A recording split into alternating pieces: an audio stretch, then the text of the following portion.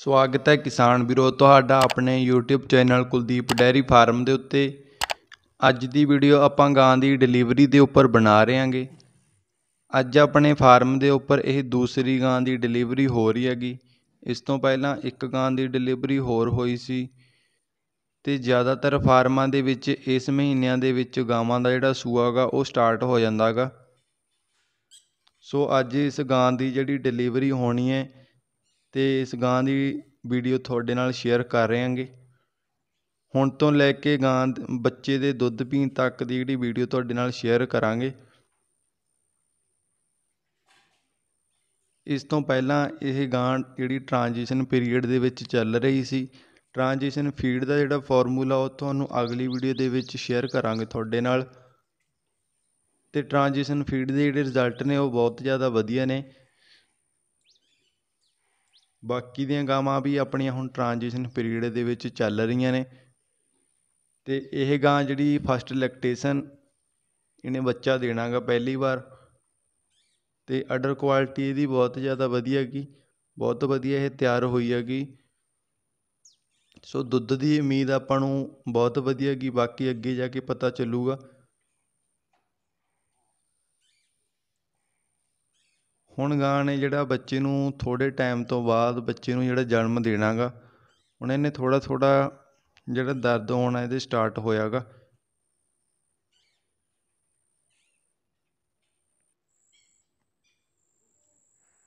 ਹੁਣ ਇਹਨੇ ਬੱਚੇ ਨੂੰ ਜਨਮ ਦੇਣਾ ਸਟਾਰਟ ਕੀਤਾ ਗਾ ਤੇ ਥੋੜੇ ਟਾਈਮ ਦੇ ਬਾਅਦ ਜਿਹੜਾ ਇਹਨੇ ਬੱਚੇ ਨੂੰ ਜਨਮ ਦੇ ਦੇਣਾਗਾ।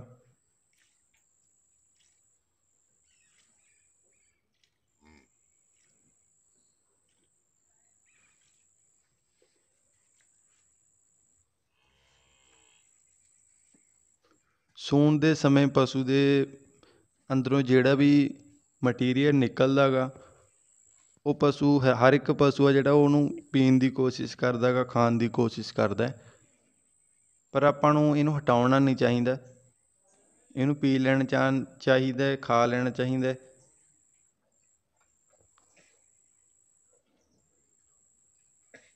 ਕਈ ਵਾਰ ਪਸ਼ੂ ਆਪਣੀ ਜੇਰ ਖੁਦ ਖਾ ਜਾਂਦੇ ਨੇ। ਉਹਦਾ ਵੀ ਕੋਈ ਨੁਕਸਾਨ ਨਹੀਂ ਹੁੰਦਾ ਪਸ਼ੂ ਦੇ ਖੁਦ ਜੇਰ ਖਾਣ ਦਾ। ਥੋੜ੍ਹਾ ਬਹੁਤ ਲੀਵਰ ਤੇ ਸਟ੍ਰੈਸ ਪੈਂਦਾ ਗਾ, ਉਹਦੇ ਲਈ ਆਪਾਂ ਲੀਵਰ ਟੋਨਿਕ ਦੇ ਸਕਦੇ ਹਾਂਗੇ ਉਹਨੂੰ।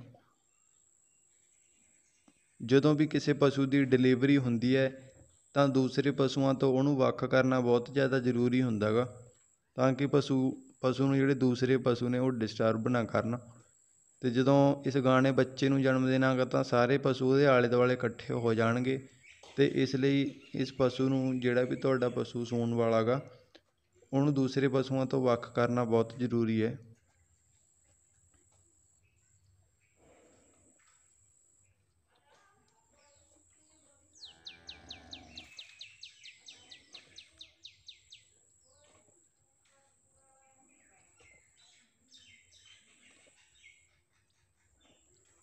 ਹੁਣ ਤਕਰੀਬਨ ਇਹਨੇ ਥੋੜ੍ਹੇ ਟਾਈਮ ਦੇ ਵਿੱਚ ਹੀ ਆਪਣੇ ਬੱਚੇ ਨੂੰ ਜਿਹੜਾ ਜਨਮ ਦੇ ਦੇਣਾ ਗਾ।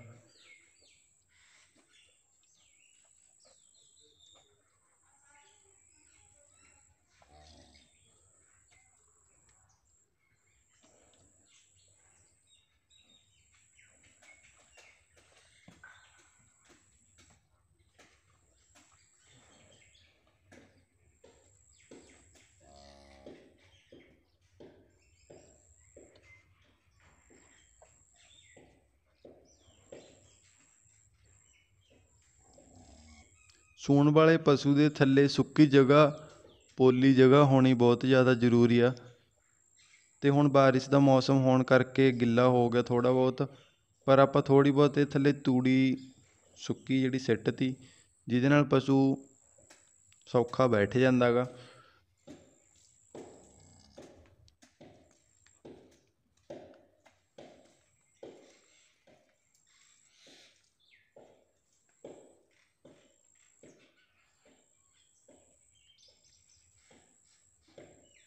ਫਸਟ ਲੈਕਟੇਸ਼ਨ ਦੀ ਗਾਂ ਗੀ ਇਹ। ਪਹਿਲੀ ਵਾਰ ਇਹ ਆਪਣੇ ਬੱਚੇ ਨੂੰ ਜਨਮ ਦੇ ਰਹੀ ਹੈਗੀ। ਸੋ ਜਿਹੜਾ ਇਹਦਾ ਆਰਡਰ ਹੈਗਾ ਉਹ ਕਾਫੀ ਇਹਦਾ ਟਾਈਟ ਹੋਇਆ ਹੋਇਆ। ਤੇ ਬੈਠਣ ਦੇ ਵਿੱਚ ਵੀ ਇਹਨੂੰ ਦਿੱਕਤ ਆ ਰਹੀ ਹੈਗੀ। ਆਰਡਰ ਕੁਆਲਿਟੀ ਬਹੁਤ ਜ਼ਿਆਦਾ ਵਧੀਆ ਗਈ ਫਸਟ ਲੈਕਟੇਸ਼ਨ ਆ ਇਹ ਗਾਂ।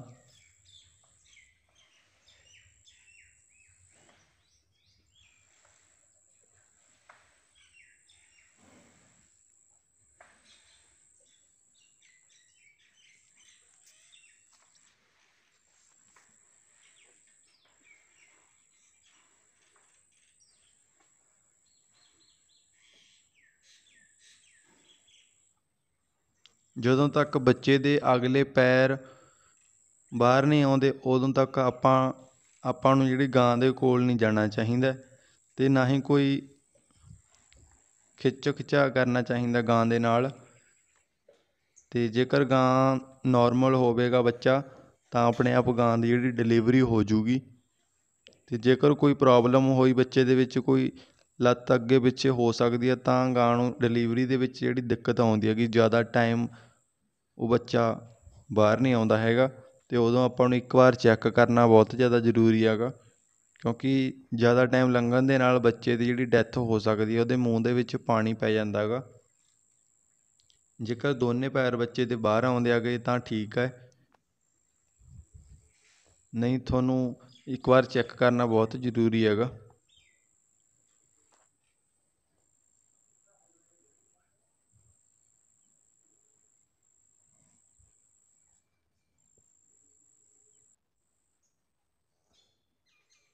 ਅਤੇ ਹੁਣ ਗਾਂ ਹੁਣ ਜਿਹੜੇ ਬੱਚੇ ਦੇ ਪੈਰ ਨੇ ਉਹ ਬਾਹਰ ਆਉਣਗੇ।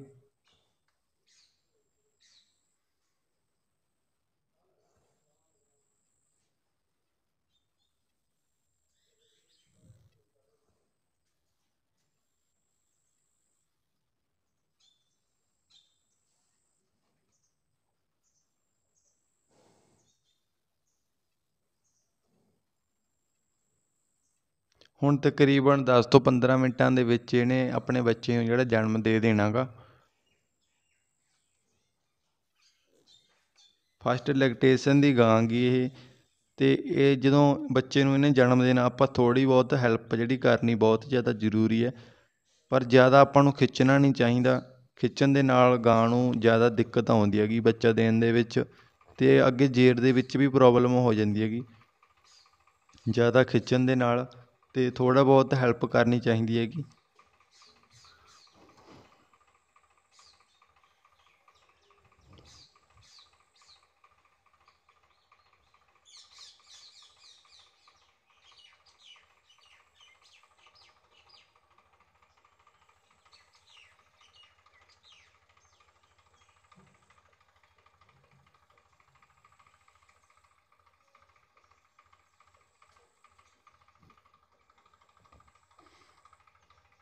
ਜਦ ਤੱਕ ਬੱਚੇ ਦੇ ਅਗਲੇ ਪੈਰ ਗਿੱਠਾਂ ਦੇ ਵਿੱਚ ਡੇਢ ਗਿੱਠ ਤੱਕ, ਇੱਕ ਗਿੱਠ ਤੱਕ ਬਾਹਰ ਨਹੀਂ ਆਉਂਦੇ, ਉਦੋਂ ਤੱਕ ਆਪਾਂ ਨੂੰ ਗਾਂ ਦੇ ਕੋਲ ਨਹੀਂ ਜਾਣਾ ਚਾਹੀਦਾ।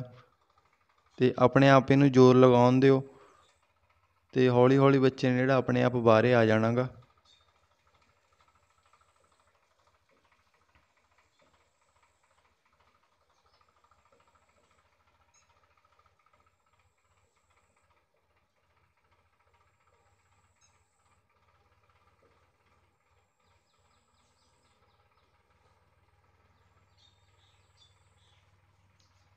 ਕਈ ਵਾਰ ਬੱਚੇ ਦਾ ਜਿਹੜੀ ਮੂੰਹ ਆਂਗਾ ਬੱਚੇ ਦੀ ਬੂਥ ਕਹਿ ਦਿੰਦੇ ਆ, ਉਹ ਪਿੱਛੇ ਵੱਲ ਨੂੰ ਮੁੜ ਜਾਂਦੀ ਹੈਗੀ, ਜਿਹਦੇ ਨਾਲ ਗਾਂ ਦੀ ਡਿਲੀਵਰੀ ਹੁੰਦੀ ਨਹੀਂ ਹੈਗੀ ਅਤੇ ਗਾਂ ਜ਼ੋਰ ਲਗਾਉਂਦੀ ਰਹਿੰਦੀ ਹੈ।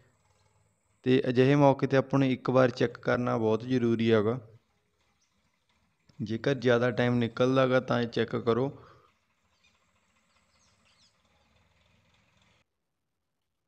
ਅਤੇ ਤਕਰੀਬਨ ਦਸ ਤੋਂ ਪੰਦਰਾਂ ਮਿੰਟਾਂ ਦੇ ਬਾਅਦ ਜਿਹੜੇ ਬੱਚੇ ਨੂੰ ਇਹਨੇ ਜਨਮ ਦੇ ਦਿੱਤਾ ਇਹਨੇ ਮੇਲ ਕਾਫ ਨੂੰ ਜਨਮ ਦਿੱਤਾ ਗਾ ਅਤੇ ਮੇਲ ਕਾਫ ਦਾ ਜਿਹੜਾ ਰੰਗ ਹੈਗਾ ਉਹ ਆਪਣੀ ਮਾਂ ਦੇ ਉੱਪਰ ਗਿਆ ਗਾ ਮੇਲ ਕਾਫ ਸਾਰਾ ਜਿਹੜਾ ਵਾਈਟ ਹੈਗਾ ਅਤੇ ਡਿਲੀਵਰੀ ਹੋਣ ਤੋਂ ਤੁਰੰਤ ਬਾਅਦ ਆਪਾਂ ਇਹਨੂੰ ਦੋ ਚਮਚ ਨਮਕ, ਨੂਣ ਜਿਹੜਾ ਪਾਣੀ ਦੇ ਵਿੱਚ ਘੋਲ ਕੇ ਦੇਣਾ ਗਾ ਤਾਜ਼ਾ ਪਾਣੀ ਲੈਣਾ ਗਾ ਆਪਾਂ ਨੇ। ਡਿਲੀਵਰੀ ਹੋਣ ਤੋਂ ਬਾਅਦ ਇਹ ਪਾਣੀ ਗਾਂ ਨੂੰ ਪਿਲਾਉਣਾ ਬਹੁਤ ਜ਼ਿਆਦਾ ਜ਼ਰੂਰੀ ਹੁੰਦਾ ਡਿਲੀਵਰੀ ਤੋਂ ਪਹਿਲਾਂ ਨਹੀਂ ਪਸ਼ੂ ਨੂੰ ਪਿਲਾਉਣਾ ਚਾਹੀਦਾ, ਪਹਿਲਾਂ ਕਈ ਵਾਰ ਨਹੀਂ ਪੀਂਦਾ, ਪਰ ਡਿਲੀਵਰੀ ਹੋਣ ਤੋਂ ਬਾਅਦ ਪਸ਼ੂ ਇਸ ਪਾਣੀ ਨੂੰ ਜ਼ਰੂਰ ਪੀਊਗਾ। ਇਸ ਪਾ, ਇਹ ਪਾਣੀ ਪੀਣ ਦੇ ਨਾਲ ਪਸ਼ੂ ਦਾ ਜਿਹੜਾ ਬਲੱਡ ਹੈਗਾ, ਉਹ ਨਾਰਮਲ ਹੋ ਜਾਊਗਾ। ਅਤੇ ਮੇਲ ਕਾਫ ਦਾ ਜਿਹੜਾ ਰੰਗ ਆ, ਤੁਸੀਂ ਦੇਖ ਸਕਦੇ ਹੋ ਆਪਣੀ ਮਾਂ ਦੇ ਉੱਪਰ ਗਿਆ ਗਾ ਇਹਦਾ ਰੰਗ। ਅਤੇ ਇਹ ਸਟੋਕੀ ਸੀਮਨ ਦਾ ਮੇਲ ਕਾਫ ਹੈਗਾ P D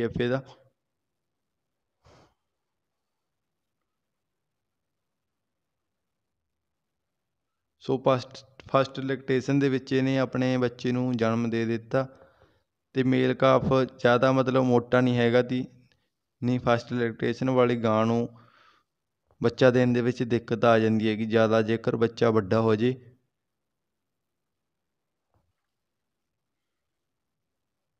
ਅਤੇ ਬੱਚੇ ਦੀ ਜਿਹੜੀ ਹਾਈਟ ਆ ਉਹ ਬਹੁਤ ਜ਼ਿਆਦਾ ਹੈਗੀ।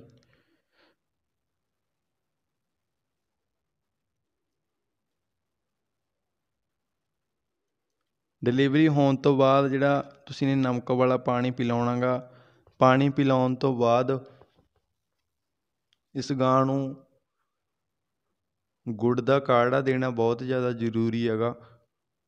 ਗੁੜ ਦੇ ਵਿੱਚ ਅਜਵਾਇਣ, ਵੱਡੀਆਂ ਇਲਾਇਚੀਆਂ ਅਤੇ ਹ, ਥੋੜ੍ਹੀ ਬਹੁਤ ਹਲਦੀ ਮਿਕਸ ਕਰਕੇ ਚੰਗੀ ਤਰ੍ਹਾਂ ਉਬਾਲ ਕੇ ਇਹਨੂੰ ਬਣਾ ਕੇ ਆਪਾਂ ਨੇ ਦੇਣਾ ਹੁੰਦਾ ਗਾ। ਜਿਹਦੇ ਨਾਲ ਗਾਂ ਦੀ ਜਿਹੜੀ ਜੇਰ ਹੈਗੀ ਉਹ ਜਲਦੀ ਪੈ ਜਾਂਦੀ ਹੈਗੀ। ਅਤੇ ਅਡਰ ਕੁਆਲਿਟੀ ਤੁਸੀਂ ਗਾਂ ਦੀ ਦੇਖੋ। ਗਾਂ ਵੀ ਪੂਰੀ ਵਾਈਟ ਕਲਰ ਦੇ ਵਿੱਚ ਹੈ। ਅਤੇ ਬੱਚਾ ਵੀ ਜਿਹੜਾ ਇਹਨੇ ਜਨਮ ਦਿੱਤਾ ਗਾ ਉਹ ਵੀ ਵਾਈਟ ਕਲਰ ਦੇ ਵਿੱਚ ਹੀ ਆਇਆ ਗਾ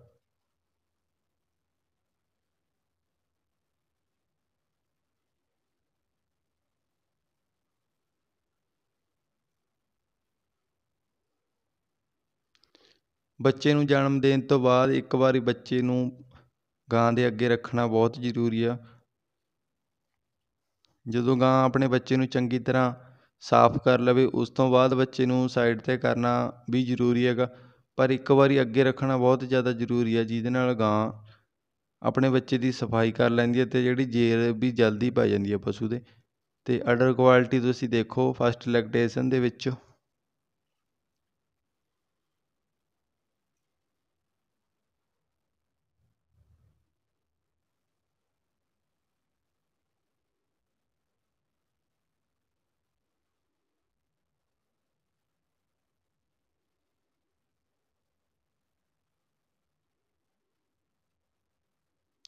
ਸੋ ਡਿਲੀਵਰੀ ਤੋਂ ਤਕਰੀਬਨ ਅੱਧਾ ਪੌਣੇ ਘੰਟੇ ਦੇ ਬਾਅਦ ਆਪਣੇ ਗਾਂ ਦਾ ਜਿਹੜਾ ਦੁੱਧ ਹੈ ਉਹ ਕੱਢ ਲਿਆ। ਫਸਟ ਟਾਈਮ ਜਦੋਂ ਆਪਾਂ ਦੁੱਧ ਕੱਢ ਦਿਆਂਗੇ, ਇਹਨੂੰ ਬੌਲਾ ਕਹਿ ਦਿੰਦੇ ਨੇ। ਅਤੇ ਇਸ ਦੁੱਧ ਦੇ ਵਿੱਚ ਬਹੁਤ ਜ਼ਿਆਦਾ ਤਾਕਤ ਹੁੰਦੀ ਹੈਗੀ, ਬਹੁਤ ਜ਼ਿਆਦਾ ਗੁਣ ਹੁੰਦੇ ਨੇ। ਇਹ ਦੁੱਧ ਆਪਾਂ ਦੋ ਤੋਂ ਢਾਈ ਲੀਟਰ ਜਿਹੜਾ ਉਹ ਬੱਚੇ ਨੂੰ ਪਿਲਾਵਾਂਗੇ। ਬਾਕੀ ਦੋ ਦੋ ਲੀਟਰ ਦੇ ਤਕਰੀਬ ਆਪਾਂ ਜਿਹੜਾ ਦੁੱਧ ਬਚ ਗਿਆ, ਉਹ ਗਾਂ ਨੂੰ ਪਿਲਾਵਾਂਗੇ। ਜਦੋਂ ਆਪਾਂ ਕਿਸੇ ਵੀ ਗਾਂ ਦੀ ਡਿਲੀਵਰੀ ਹੁੰਦੀ ਹੈ, ਜਦੋਂ ਪਹਿਲੀ ਵਾਰ ਆਪਾਂ ਉਹਦਾ ਦੁੱਧ ਕੱਢਦੇ ਹਾਂ, ਉਹਦੇ ਵਿੱਚ ਬਹੁਤ ਜ਼ਿਆਦਾ ਤਾਕਤ ਹੁੰਦੀ ਹੈ, ਬਹੁਤ ਜ਼ਿਆਦਾ ਉਹਦੇ ਵਿੱਚ ਗੁਣ ਹੁੰਦੇ ਨੇ। ਇਹ ਦੁੱਧ ਗਾਂ ਨੂੰ ਪਿਲਾਉਣਾ ਵੀ ਜ਼ਰੂਰੀ ਹੁੰਦਾ ਗਾ, ਬੱਚੇ ਨੂੰ ਪਿਲਾਉਣਾ ਵੀ ਜ਼ਰੂਰੀ ਹੁੰਦਾ। ਤਕਰੀਬਨ ਇੱਕ ਘੰਟੇ ਦੇ ਅੰਦਰ ਅੰਦਰ ਇਹ ਦੁੱਧ ਬੱਚੇ ਨੂੰ ਪਿਲਾ ਦੇਣਾ ਚਾਹੀਦਾ ਅਤੇ ਦੁੱਧ ਦੇ ਵਿੱਚ ਵੀ ਆਪਾਂ ਨੂੰ ਜੇਰ ਵਾਲੀ ਦਵਾਈ ਜੂਟਰੋ ਮਿਲਕ ਕਹਿ ਦਿੰਦੇ ਨੇ। ਅਤੇ ਨਾਲ ਇੱਕ ਜੈੱਲ ਹੁੰਦੀ ਹੈਗੀ ਕੈਲਸੀਅਮ ਅਸਟ ਦੀ, ਉਹ ਦੁੱਧ ਦੇ ਵਿੱਚ ਮਿਕਸ ਕਰਕੇ ਆਪਾਂ ਗਾਂ ਨੂੰ ਦੇ ਸਕਦੇ ਹਾਂਗੇ। ਡਿਲੀਵਰੀ ਤੋਂ ਬਾਅਦ ਪਸ਼ੂ ਜ਼ਿਆਦਾਤਰ ਪੀ ਜਾਂਦਾ ਗਾ ਕੁਛ ਵੀ ਆਪਾਂ ਉਹਨੂੰ ਪੀ, ਪੀਣ ਵਾਸਤੇ ਦਿੰਦੇ ਹੈਗੇ। ਅਤੇ ਇਹਦੇ ਨਾਲ ਗਾਂ ਨੂੰ ਜਿਹੜੀ ਐਨਰਜੀ ਮਿਲੂਗੀ ਅਤੇ ਜੇਰ ਦੇ ਵਿੱਚ ਕੋਈ ਪ੍ਰੋਬਲਮ ਨਹੀਂ ਆਊਗੀ।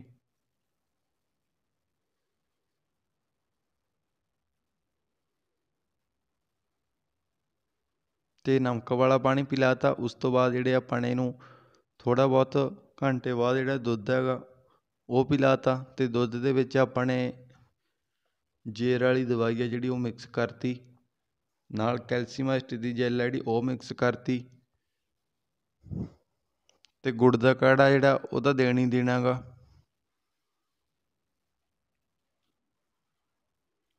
ਡਿਲੀਵਰੀ ਤੋਂ ਬਾਅਦ ਪਸ਼ੂ ਇੱਕਦਮ ਜਦੋਂ ਆਪਾਂ ਇਹਨੂੰ ਕੁਛ ਵੀ ਖਾਣ ਵਾਸਤੇ ਦਿੰਦੇ ਹਾਂ, ਤਾਂ ਜ਼ਿਆਦਾਤਰ ਪਸ਼ੂ ਜਿਹੜੇ ਉਹ ਪੀ ਜਾਂਦੇ ਨੇ। ਅਤੇ ਆਹ ਜਿਹੜੀ ਜੂਟਰੋ ਮਿਲਕ ਹੈਗੀ ਅਤੇ ਕੈਲਸ਼ੀਅਮ ਦੀ ਜੈਲ ਹੈਗੀ, ਇਹ ਆਪਾਂ ਦੁੱਧ ਦੇ ਵਿੱਚ ਮਿਕਸ ਕਰਨੀ ਹੈ। ਇਹਦੇ ਨਾਲ ਪਸ਼ੂ ਦੀ ਜਿਹੜੀ ਜੇਰ ਹੈਗੀ, ਉਹ ਟਾਈਮ 'ਤੇ ਪੈ ਜੂਗੀ। ਅਤੇ ਹੁਣ ਬੱਚੇ ਨੂੰ ਦੁੱਧ ਪਿਲਾ ਰਹੇ ਬੱਚੇ ਨੂੰ ਦੁੱਧ ਚੁੰਗਣੀ ਨਾਲ ਪਿਲਾਇਆ ਜਾਂਦਾ ਗਾ ਗਾਂ ਦੇ ਥੱਲੇ ਨਹੀਂ ਬੱਚੇ ਨੂੰ ਛੱਡਿਆ ਜਾਂਦਾ ਦੁੱਧ ਪੀਣ ਦੇ ਲਈ। ਕਿਉਂਕਿ ਗਾਵਾਂ ਨੂੰ ਆਦਤ ਪੈ ਜੂਗੀ ਅਤੇ ਫਾਰਮਰ ਦੇ ਵਿੱਚ ਜ਼ਿਆਦਾਤਰ ਬੱਚਿਆਂ ਨੂੰ ਬੱਠਲ ਦੇ ਵਿੱਚ ਦੁੱਧ ਪਿਲਾਇਆ ਜਾਂਦਾ ਗਾ ਅਤੇ ਹੁਣ ਇਹਨੂੰ ਦੋ ਦਿਨ ਚੁੰਗਣੀ ਨਾਲ ਦੁੱਧ ਪਿਲਾਇਆ ਜਾਊਗਾ, ਉਸ ਤੋਂ ਬਾਅਦ ਇਹ ਬੱਠਲ ਦੇ ਵਿੱਚ ਦੁੱਧ ਪੀਣ ਲੱਗ ਜੂਗਾ।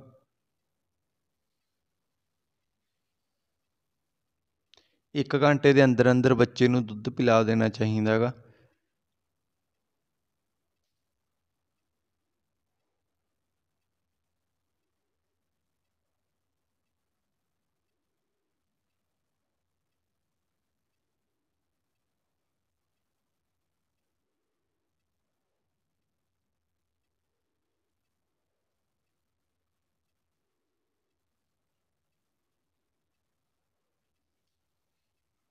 ਐਚ ਐਫ ਗਾਵਾਂ ਦੇ ਜ਼ਿਆਦਾਤਰ ਬੱਚੇ ਨੇ ਜਿਹੜੇ, ਉਹ ਡਿਲੀਵਰੀ ਹੋਣ ਤੋਂ ਦਸ ਪੰਦਰਾਂ ਮਿੰਟ ਹੀ ਬਾਅਦ ਜਿਹੜਾ ਦੁੱਧ ਪੀਣਾ ਸਟਾਰਟ ਕਰ ਦਿੰਦੇ ਨੇ।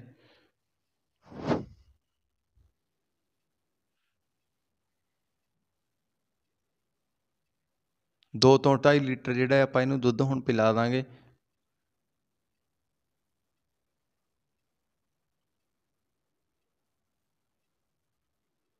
ਅਤੇ ਇਸ ਬੱਚੇ ਦਾ ਜਿਹੜਾ ਕਲਰ ਹੈਗਾ ਬਹੁਤ ਜ਼ਿਆਦਾ ਵਧੀਆ ਹੈਗਾ। ਆਪਣੇ ਮਾਂ, ਆਪਣੀ ਮਾਂ ਦੇ ਉੱਪਰ ਜਿਹੜਾ ਇਹਦਾ ਕਲਰ ਗਿਆ ਹੈਗਾ।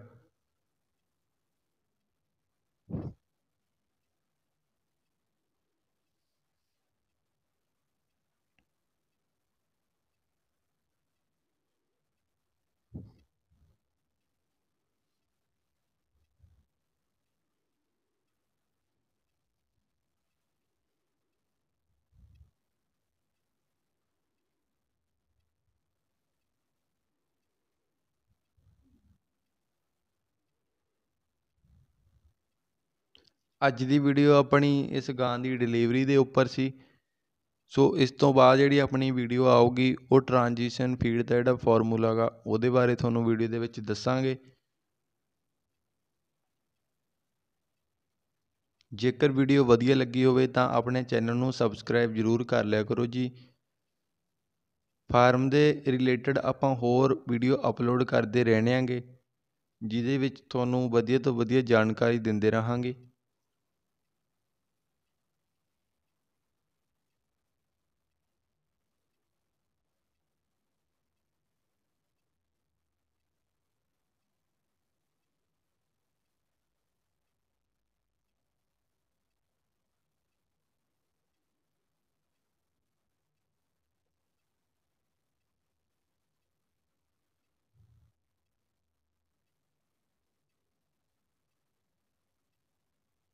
ਨਿੱਪਲ ਦੇ ਨਾਲ ਦੁੱਧ ਪਿਲਾਉਣ ਦੇ ਵਿੱਚ ਬੱਚੇ ਨੂੰ ਕੋਈ ਦਿੱਕਤ ਨਹੀਂ ਆਉਂਦੀ। ਜੇਕਰ ਆਪਾਂ ਬੋਤਲ ਦੇ ਨਾਲ ਦੁੱਧ ਪਿਲਾਉਂਦੇ ਹੈਗੇ ਤਾਂ ਬੱਚੇ ਨੂੰ ਹੱਥੋਂ ਆ ਜਾਂਦਾ ਗਾ ਅਤੇ ਇਹਦੇ ਨਾਲ ਕੋਈ ਪ੍ਰੋਬਲਮ ਨਹੀਂ ਆਉਂਦੀ, ਬੱਚਾ ਆਪਣੇ ਆਪ ਜਿਹੜਾ ਦੁੱਧ ਪੀ ਲੈਂਦਾ ਗਾ